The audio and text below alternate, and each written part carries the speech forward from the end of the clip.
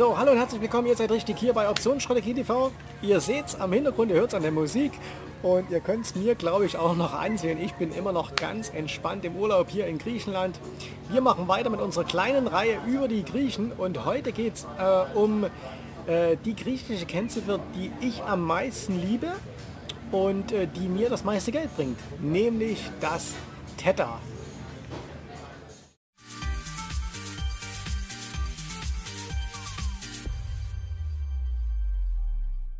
Also, was ist das Theta? Warum liebe ich es so besonders? Das Theta drückt den sogenannten Zeitwertverfall aus. Das heißt also, mit Hilfe des Thetas kannst du berechnen, um wie viel sich jede Option pro Tag verringert aufgrund des Zeitwertverlustes. Ihr wisst, eine Option hat ja immer nur eine begrenzte Lebensdauer. Es gibt Optionen, die haben nur eine Lebensdauer von, ich glaube, 26 Stunden. Das, die werden in Amsterdam gehandelt. Das sind Daily Options. Das heißt, die werden an einem Tag aufgelegt und laufen dann am nächsten Tag äh, schon wieder aus. Ich glaube, entweder 24 oder 26 Stunden. Ich glaube 26, also zwei Stunden länger als ihr Auflagedatum. Das heißt, die haben natürlich einen extrem großen Zeitwertverfall. Äh, dann gibt es sogenannte Leaps-Optionen, die äh, können also teilweise bis zu zwei, drei Jahren laufen, sehr, sehr lang laufende Optionen auf Aktien und ETFs.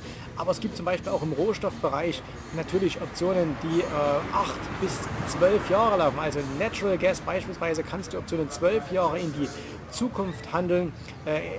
Erdöl kannst du acht Jahre in die Zukunft handeln, Weizen drei Jahre, Gold drei Jahre und so weiter. Also es gibt wirklich von ganz, ganz kurz bis ganz, ganz lang gibt es sehr, sehr viele verschiedene Optionslaufzeiten. Und eines, was alle Optionen gemeinsam haben, ist eben die Tatsache, dass jede Option jeden Tag, egal ob es ein Börsenhandelstag ist, ob es ein Wochenende ist, äh, ob es ein Feiertag ist, äh, dass jede Option dann pro Tag etwas Zeitwertverfall hat. Und wie viel das ist, das kann man mit Hilfe des Thetas berechnen. So, das heißt, während ich also hier ganz gemütlich äh, in Griechenland im Urlaub schwitze und äh, mich also äh, hier entspanne mit meiner Familie, äh, haben alle meine Optionen, die ich noch im äh, Portfolio habe, haben nicht alle Positionen geschlossen, sondern ich habe eine ganze Menge auch offen gelassen, weil ich hier auch die Möglichkeit habe, ganz einfach meine, meine Konten zu überwachen. Wie gesagt, wir sind hier mit einem sehr guten Freund äh, in seinem Haus und da gibt es Internetanschluss und so, das ist natürlich optimal. Da schaut man abends mal schnell übers Laptop rein und dann funktioniert das. Und, ähm, aber alle meine Optionen haben eben in dieser Zeit jeden Tag ein bisschen an Wert verloren aufgrund des Zeitwertverlustes. Das heißt, selbst wenn du heute eine Option hast, die im Wert steigt, hat sie trotzdem Zeitwertverlust. Durch andere Dinge, Veränderung des Underlyings, Veränderung der Volatilität und so weiter, kann sie trotzdem an Wert gehen. Aber der Zeitwertverlust, der ist bei jeder Option gleich.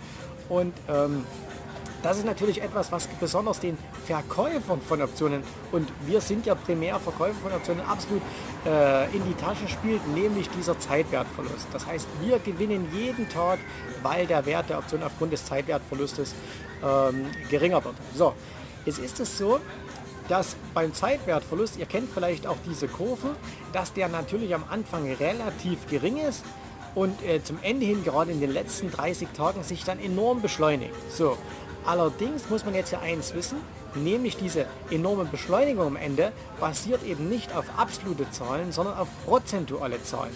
Das heißt, wenn du dir das einfach vorstellst, das ist ja keine gleichmäßige Entwicklung.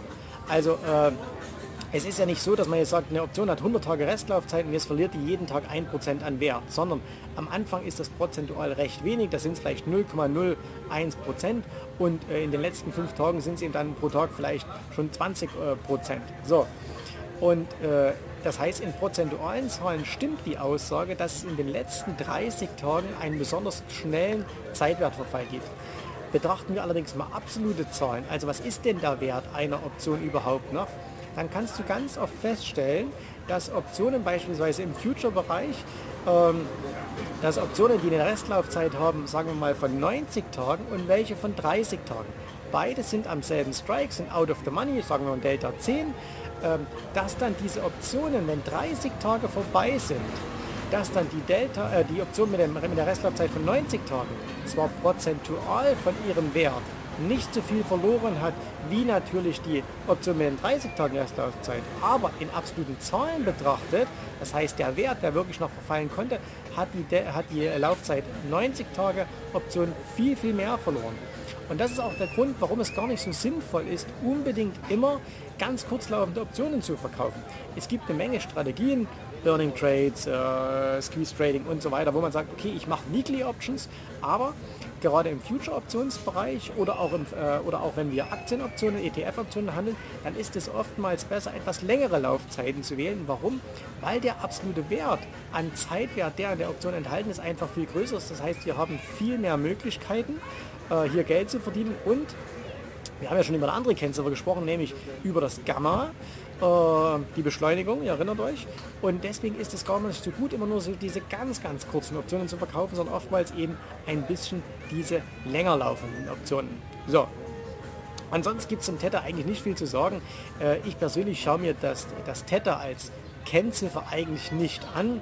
Das heißt, ich gucke jetzt nicht unbedingt, äh, meine Option verliert es am Tag 2 Dollar oder so weiter. Nein, das Einzige, es gibt so Strategien, Strangle-System beispielsweise, wo ich mir ausrechne, okay, wie viel kann diese Option mir jetzt quasi pro Tag bringen, wobei das nur ein theoretischer Wert ist, weil wie gesagt, es läuft nicht linear. Äh, zum anderen äh, kann man das, gibt es so Strategien, dass man sagt, okay, wenn man zum Beispiel jetzt äh, im, im, Aktienoptionsbereich, dass man sagt, ich möchte mindestens so und so viel Dollar Zeitwertverfall am Tag haben, da kann man das ausrechnen, aber selbst der Blick auf die Ziffern, also sagen, das Tether ist jetzt 0,48 oder es ist jetzt 0,79, wie wir es beim Delta machen, wo wir also sagen, okay, bei der Auswahl der Option schauen wir auf einen ganz bestimmten Wert. Das gibt es beim Tether nicht, also zumindest nutze ich es nicht so. Und deswegen ist das Tether also etwas, wo wir wissen müssen, warum es das gibt, wie es funktioniert. Und äh, dann lassen wir das Ganze aber einfach für uns arbeiten. Wie gesagt, Tether immer positiv für den Optionsverkäufer, Tether immer negativ für den Optionskäufer. Und deswegen wichtig, wenn ihr Optionen verkauft, äh, Laufzeiten beachten und noch wichtiger, wenn ihr Optionen kauft, ebenso die Laufzeiten beachten.